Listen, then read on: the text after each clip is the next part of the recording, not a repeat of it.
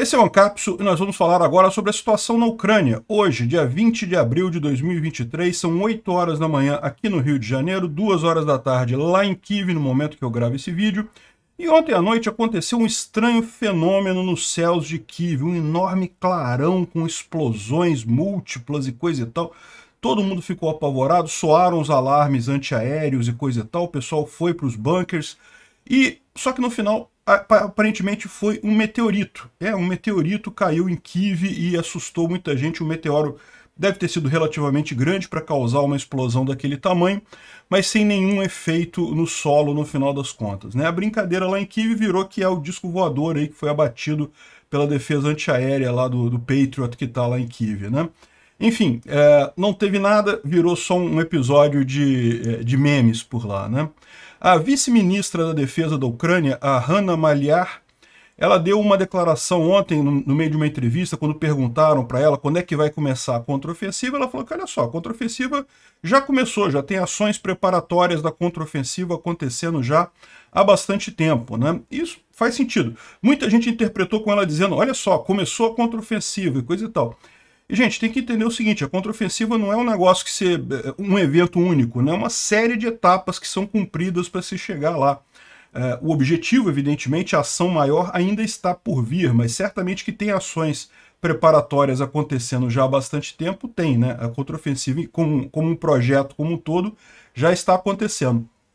E a gente tem noticiado aqui, de fato, que os ucranianos têm feito vários testes aqui nas defesas russas aqui em Zaporizhia, têm feito várias, várias incursões ali na região. Enfim, é, não é, lógico, a parte principal da contraofensiva ainda, essa não vai ser anunciada, vai simplesmente acontecer, mas, de qualquer forma, está próxima a data, porque Ontem, vários eh, colaboradores civis dos russos, né, que estão lá na Ucrânia, ou seja, ucranianos que acabaram ajudando os russos, o pessoal fugiu de Tokmak e de várias outras cidades aqui em Zaporizhia. Tokmak deve ser uma das primeiras aqui a ser retomada pelos ucranianos, né, imagina-se. E é, de várias outras cidades também, grandes comboios foram vistos é, fugindo em direção à Crimeia, com esses colaboradores e também pessoas civis que não querem entrar em guerra, né? de fato, não tem como evitar, mesmo a Ucrânia querendo fazer causar o mínimo de dano às cidades ucranianas, não tem como retomar essa cidade sem algum grau de dano, algum grau de ataque. Né? Então, uma fuga muito grande que está acontecendo em várias cidades ali na região. Né? O governador, entre aspas, de Zaporizhia, né, o pateta que foi colocado como governador pelos russos, já está com toda a sua família lá na Crimeia, não vai ficar para ver a contraofensiva. Né? Sobre algum avanço em si, a gente não viu nada é, firme ainda. Né? A gente falou alguns dias atrás aí sobre algumas cidades que teriam sido tomadas aqui, vilarejos aqui, os ucranianos estão avançando em cima da zona cinza, mas assim, efetivamente tomar território dos russos, ainda não temos nada é, significativo. Né? Também tem, tem alguns casos de pontes destruídas aqui em alguns lugares na retaguarda. Né? Esse negócio dos, dos russos destruírem pontes é sinal também que eles estão preocupados com essa contraofensiva, porque isso é uma forma de retardar a contraofensiva. O Jens Stoltenberg, que é o secretário-geral da OTAN, ele está nesse momento lá em Kiev visitando a Ucrânia e é, certamente espera-se mais ajuda chegando aí da OTAN e dos Estados Unidos. Os Estados Unidos, a propósito, ontem também liberou mais um grande pacote de ajuda para a Ucrânia. E, inclusive, nesse pacote de ajuda estão os aviões brasileiros, o A-29 Super Tucanos, produzidos lá nos Estados Unidos e, portanto, que podem ser exportados pelos americanos sem licença aqui do Brasil. Que bom que estamos ajudando em alguma coisa, né? Mesmo sem ser diretamente contra a vontade do idiota do Lula, mas pelo menos alguma coisa está sendo aí, está seguindo de ajuda brasileira. Deveríamos estar ajudando muito mais. Vamos falar sobre esses e outros assuntos em detalhes. Essas notícias foram sugeridas por Cansado dos passapanistas do Twitter, Molusco Acéfalo e várias outras pessoas. Obrigado aí ao pessoal que sugeriu a notícia. Obrigado a você que está assistindo o nosso vídeo. Se você gosta do nosso conteúdo, por favor, deixa o seu like e se inscreva aqui no canal, né? Pois bem, olha só que coisa. Olha esse vídeo aqui. Deixa eu botar o vídeo aqui. Olha que impressionante o que aconteceu ontem em Kiev, né? Isso aqui é o centro de Kiev. Olha só, um clarão enorme no ar e essa explosão com flash enorme, o pessoal ficou preocupado, né?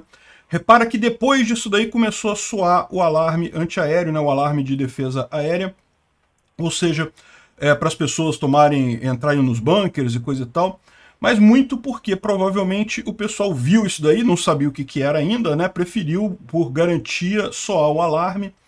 Mas é, é, lógico, muita gente ficou preocupada com o que seria isso, mas pelo visto foi meramente um meteorito, um meteoro entrando na atmosfera. Olha que coisa, né? Logo ali. Teve gente falando de um possível satélite da NASA que teria caído, porque parece que ontem caiu um satélite da, da NASA em algum lugar aí do mundo, mas não seria, não, não pode ter sido isso, porque esse satélite, a latitude máxima dele não chega é, no nível de Kiev, né?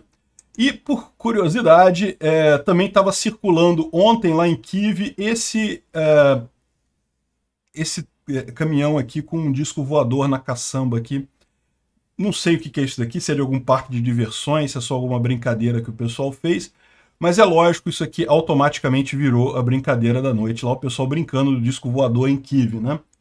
Então, por exemplo, prepararam aqui aqueles avisozinhos que o pessoal fala sobre, né, quando, quando os ucranianos derrubam drones ou mísseis, né? Aí falou, não, um disco voador e coisa e tal. Tá aqui, ó, foi derrubado o disco voador lá em Kiev ontem. E tem um monte de piadinhas aqui o pessoal faz, fazendo é, brincadeiras, né? O Alien falando para os soldados ucranianos aqui, pô, pessoal, não precisa derrubar meu disco voador, né? Pô. O outro aqui, o Alien falando, é, você não está chocado com isso? É, o, e o ucraniano, pode, pode usar o seu disco contra os russos? Enfim, um monte de brincadeiras aqui de, de vários tipos. Um monte de memes do pessoal, né? Enfim, é, não foi nada, foi só um meteorito mesmo que caiu ali, né? Bom, agora teve também ataque com drone Shahid ontem novamente, né? Uh, na, na noite de ontem, as defesas antiaéreas ucranianas derrubaram 10 dos 12 drones Shahid que foram disparados contra várias uh, regiões da, da Ucrânia. Dessa vez, o último que faltou não causou nenhum dano significativo, então foi menos crítico esse ataque de ontem que o de anteontem, né? Lá na Rússia é, tem uma planta de é, construção de equipamentos pesados aqui, né? A Kiroslav Plant, em São Petersburgo, que está pegando fogo também, né? Mais um incêndio lá na Rússia. E é bom, porque esse tipo de indústria costuma ser usada por militares. Não sei se essa especificamente apoia alguma coisa no esforço de guerra russo, mas costuma, costuma ser o caso, né? Então se pegou fogo positivo. E lógico, como não pode deixar de ser, tem mais um videozinho mostrando aqui o pessoal ucraniano fazendo a preparação, né? Milhares, centenas de milhares de tropas aqui treinando para a contraofensiva. Saiu também uma, uma reportagem no Financial Times, um repórter americano, ele se encontrou com essas tropas ucranianas que estão sendo treinadas lá na Ucrânia para a contraofensiva, né? É lógico, a reportagem saiu agora, esse encontro dele com as tropas ucranianas deve ter acontecido já há mais tempo, né? E daí ele fala sobre a situação lá, falando que realmente eles precisam de muitas pessoas, que é, o planejamento está sendo muito duro, então estão pegando pessoas que são totalmente leigas, né? Começando todo um treinamento militar para isso daí. Bom, o planejamento da contraofensiva está caminhando realmente, né? Agora, ontem, uma coisa que pegou muita gente de surpresa foi justamente essa entrevista da, da uh, Hanna Maliar, que é a vice-ministra de defesa lá na, na Ucrânia. E em determinado momento o repórter perguntou, não, e a contraofensiva, coisa e tal? É, e ela falou que, olha só, é incorreto falar sobre a contraofensiva como uma coisa é, precisa, né? É um, uma grande, um grande complexo de várias ações e medidas que as Forças Armadas estão fazendo neste momento. Então, nesse sentido, já está acontecendo a contraofensiva ucraniana. Né? Então, é isso daí. O correto é isso mesmo. Né?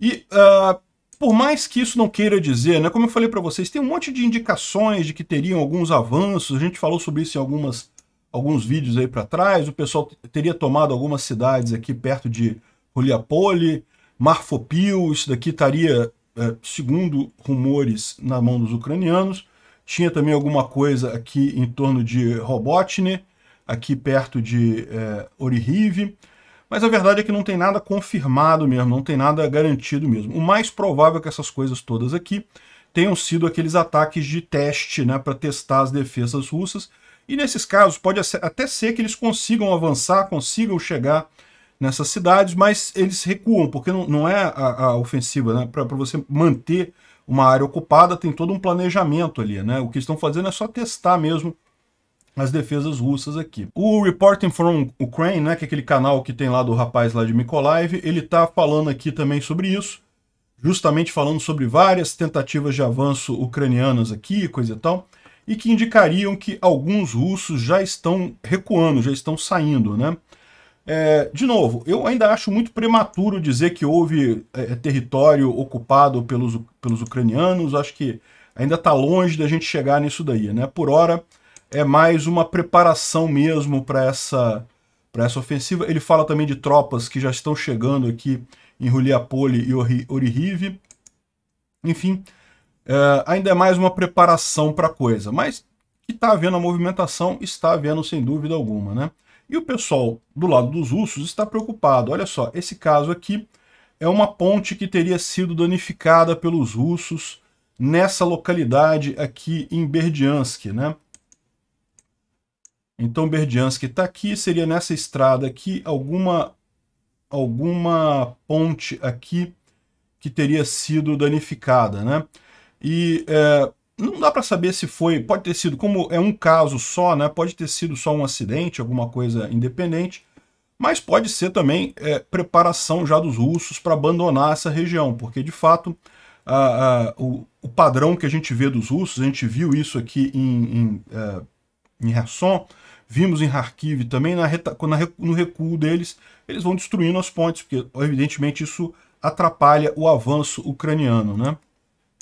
Enfim, já se vê esse tipo de coisa aqui. Agora, mais impressionante ainda é justamente o, os vídeos do pessoal fugindo de Tokmak, né?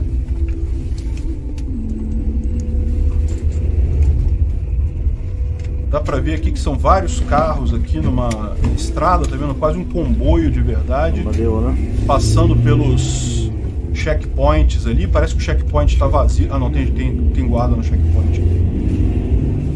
Passando pelos checkpoints russos ali. E segundo as informações, eles estão descendo em direção à Crimeia, né? Ou seja, é o pessoal que tá. Tem esse daqui, tem esse outro vídeo aqui também, que é um outro vídeo. Ou pode ser o mesmo vídeo, a mesma pessoa mais adiante, né? Tem outros carros aqui na frente. Enfim, a gente está vendo aí esse pessoal uh, sair aqui de Zaporizhia, dessa região aqui. É, é, essas imagens parecem que foram próximas a Tokmak. Então, o pessoal saindo de Tokmak. Mas de várias outras cidades também a gente tem informação de que as pessoas estão saindo também em direção a Crimeia. Né? A Crimeia, nesse momento, por enquanto, ainda é considerada um lugar mais seguro para os russos que estão aqui. É, civis estão saindo, principalmente os colaboradores russos, ou seja, aquele pessoal que é ucraniano, mas que decidiu ajudar os russos nessa invasão. Evidentemente, eles sabem que a vida deles não vai ser fácil depois que os ucranianos retomarem as cidades, então é, eles estão tentando fugir. Né? E se for igual Lá em Kharkiv, os russos não vão querer esse pessoal da Rússia também. Esse pessoal vai ter um problema para resolver a vida deles daqui para frente. Enfim, uh, não tem nenhuma ação de fato, não tem nenhum avanço de fato, mas tem preparação, tem teste. Estão fazendo isso aí. E a indicação é que vai ter coisa em breve, né? Também está o pessoal aqui reclamando que o Rogov, que é o, entre aspas, governador de Zaporizhia, é, é, é, empossado pelos russos, né? outro colaborador também não tem poder nenhum de fato, porque nesse caso lá, mesmo quem tem o poder ali é o exército russo que está tomando Zaporizhia, o cara é só um fantoche dos russos mesmo, mas ele e a família dele já foi para a Crimeia, né? E já tem muita gente, alguns, o pessoal de escalão mais baixo dos colaboradores russos ali, que está chateado porque uh, o pessoal não pode sair, né? Que, nos fóruns públicos lá, o pessoal, os colaboradores de baixo escalão reclamam que eles estão quase proibidos de sair de Melitopol, enquanto os líderes, né, o, o pessoal de mais alto escalão já vazou, já está todo mundo na Crimeia já, né?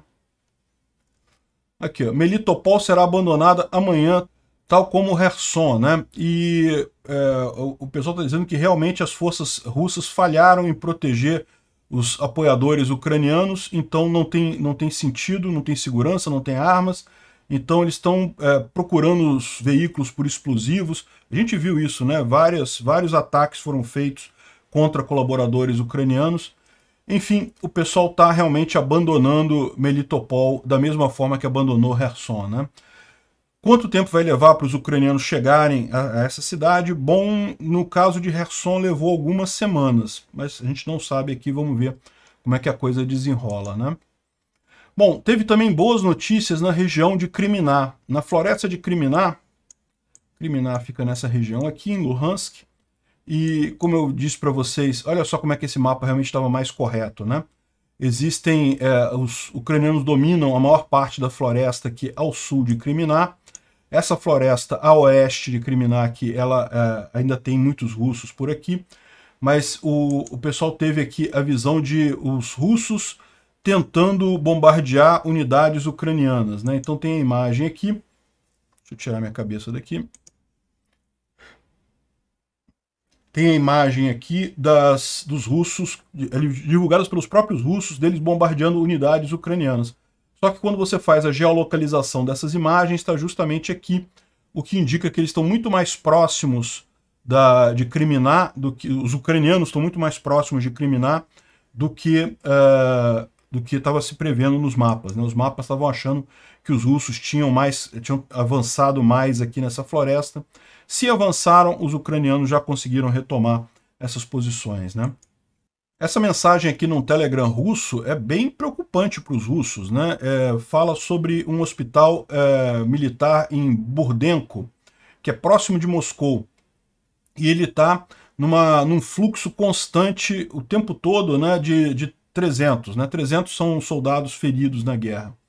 E não tem espaço para todo mundo, uh, algumas vezes a gente coloca eles nos corredores, tem amputados, feridos, pessoas doentes, principalmente é, é, infantaria motorizada e paraquedistas da Guarda Nacional. Os doutores é, trabalham praticamente em três turnos, é, o tempo todo com hora extra e coisa e tal, e, e, e a hora extra é paga de forma relutante, né? a mortalidade também está bem grande, né? Os 300 vão para a categoria dos 200 o tempo todo. 200 é o pessoal morto, né? Uh, e está faltando remédios, uh, entrega de materiais é atrasa, equipamento é 50-50. Uma parte é equipamento novo, mas muita coisa ainda é antigo, né? E ainda fala aqui do pessoal vendendo drogas, né? Pegando remédios e vendendo no mercado negro pra, por corrupção, né? Pois é, sim, perto de Moscou tá assim, imagina os hospitais na linha de frente. A gente já viu algumas outras mensagens também falando que estão é um caos completo os hospitais ali, né? Bom, em Barmut, segundo da FMON, houve um avanço dos russos é, em, a noroeste da cidade em direção a O0506 e ela agora está na linha de fogo deles. Né? Isso, é, isso é bastante preocupante, se os ucranianos não conseguirem retomar esse avanço russo aqui é, pode ser que eles não consigam mais usar essa estrada, que é uma das principais que é usada. Né? Eles também usam a T0504, que é essa outra que passa mais aqui ao sul, mas de qualquer forma, essa daqui também é muito importante. E essa daqui, repara que como ela chega é, atrás da linha de trem, né, ela já não tem essa parte final dela, que já não pode ser usada. O que os ucranianos fazem, eles usam essa estrada até aqui, e daqui eles pegam uma outra via secundária aqui para chegar nessa região. Né? Mas essa outra via secundária é mais complicada. É, eu acho que ele explica aqui. Parece que é essa aqui o caminho que eles estão fazendo para conseguir fazer o, o abastecimento da cidade, né, o principal. E o problema aqui é que como isso aqui seria mais alto, teria linha divisada com essa, essa rota que eles estão fazendo para abastecer a cidade, né? Então, assim, é preocupante esse desenvolvimento, né? Vamos ver o que, que, o que, que os ucranianos conseguem fazer para evitar esse bloqueio aqui. Vocês sabem, no final das contas, a, a situação lá é muito, muito fluida, né? Os ucranianos têm feito contra-ataques ali com bastante frequência, então é possível que em breve eles retomem isso daí, né? Mas não deixa de ser preocupante esse alerta aqui. Fora isso, na cidade em si, os ucranianos é, continuam resistindo, os russos não conseguem avançar de forma significativa. A gente falou ontem que os ucranianos retomaram algumas, alguns quarteirões aqui no norte da cidade, a, a luta ainda está aqui na região da, da estação de trem aqui principal. E uh, as principais fortalezas que os ucranianos continuam contando são esses prédios altos ao norte, aqui ao sul também e essa área militar aqui no centro, né?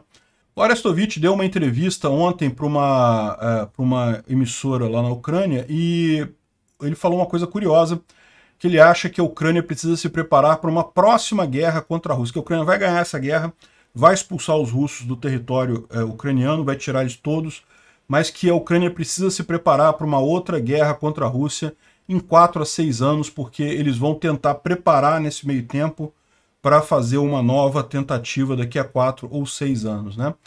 Eu não sei, isso pode ser muito facilmente evitado entrando para a OTAN. Talvez o, o, o, fato seja justamente esse, né? Ele está querendo colocar este ponto lá para a OTAN. Mas, enfim, o fato de ele já estar tá planejando a próxima guerra é um bom sinal, né?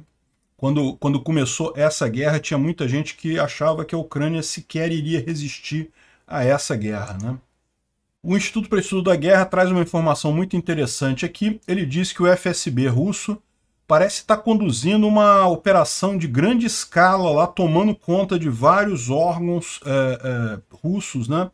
Então, a, a, a, mídia controlada pelo Estado russo, a TASS, né, disse que no dia 19 de abril, o FSB ele fez é, checkpoints em, em, lá em Moscou, né, fez várias verificações, entrou em vários distritos de polícia e coisa e tal, devido ao vazamento de dados das forças de segurança de Moscou por requisição de cidadãos ucranianos, ou seja, estariam visando esse tipo de coisa. Né? É lógico, nunca dá para saber, a gente sabe também que está havendo uma briga política muito grande lá entre a turma do Kremlin e a turma do FSB.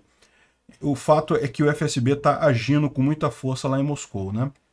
O, F, o Instituto para o Estudo da Guerra fala também sobre a entrevista da Ana Maliar, em que ela disse que as forças ucranianas já estão conduzindo algumas é, ações de, da contraofensiva e que ela disse, lógico, que as forças jamais vão anunciar previamente quando a contraofensiva vai começar e reiteraram que é, o objetivo vai ser liberar todo o território da Ucrânia e ela falou também que as, contra, as ações contraofensivas ucranianas serão tanto ofensivas quanto defensivas em sua natureza, dada a natureza complexa do campo de batalha. Né?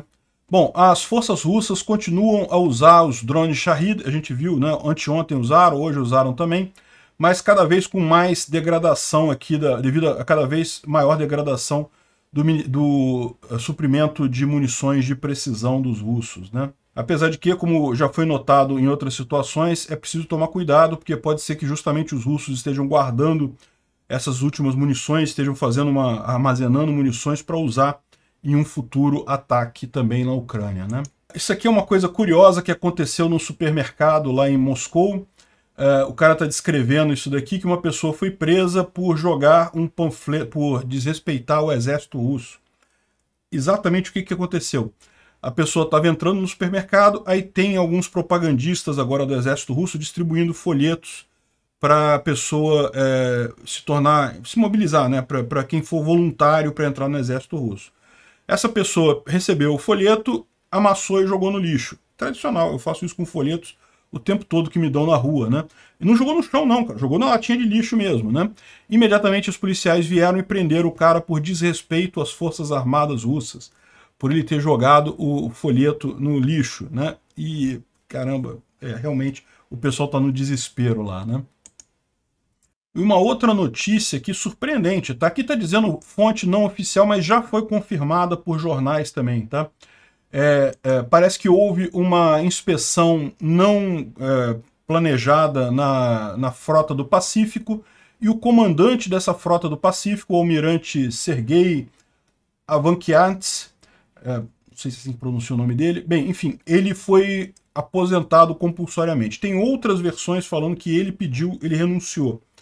Então, uh, vocês sabem, neste momento, a frota do Pacífico, lá dos russos, né, que em tese não tem nada a ver com a guerra, está fazendo exercícios lá no Pacífico, exercícios de guerra, justamente numa ideia de demonstrar superioridade para a China e coisa e tal, poderio militar russo e coisa e tal. E aparentemente não está dando muito bom, não, né? Porque no meio do exercício você tira o general, ou desculpa, o almirante que estava conduzindo essa frota, né? Fica uma coisa estranha. Alguma coisa tem de errado nessa história aí. Não dá para saber exatamente o que, que tem de errado, mas alguma coisa de errado tem aí para você tirar o almirante no meio da manobra, né? Bom, aqui tem uma imagem impressionante. Eu não posso tocar esse vídeo aqui para vocês porque é, é, o YouTube não gosta desse tipo de vídeo e tem um monte de morte também, um monte de corpo. Mas é impressionante um vídeo da, dos, dos russos tentando tomar uma trincheira ucraniana lá em Barmut e sendo totalmente dizimados pelos ucranianos aqui. É um vídeo muito impressionante. Eu não, não posso mostrar para vocês os caras estão na trincheira aqui, daí é, eles veem os russos se aproximando. Aqui os russos aqui, ó. E daí eles saem, começam a atirar os russos já aqui já. É, eu não posso mostrar essa parte. Enfim, é, batalha muito feroz aqui, realmente, e olha, uma vitória assim completa dos ucranianos. Muito bacana esse vídeo. Vou deixar o link na descrição dele.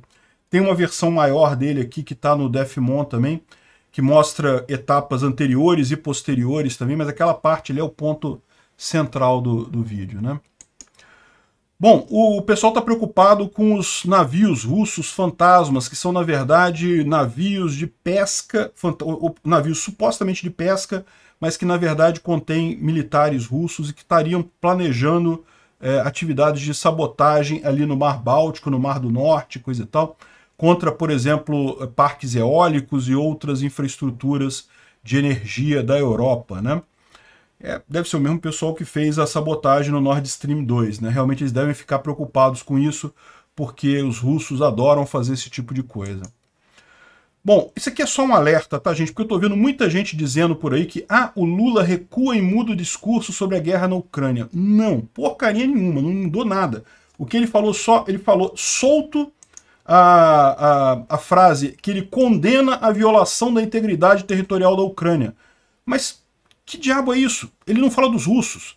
Lembra, tem essa, essa fantasia russa de que, na verdade, quem invadiu a Ucrânia foram os Estados Unidos. Então, o, o, o Lula não falou nada, né? Ele, fala, ele condena a violação da integridade territorial da Ucrânia e defende uma solução pacífica negociada para o conflito. Ou seja, ele não mudou nada de posição, não mudou absolutamente nada no final das contas, né?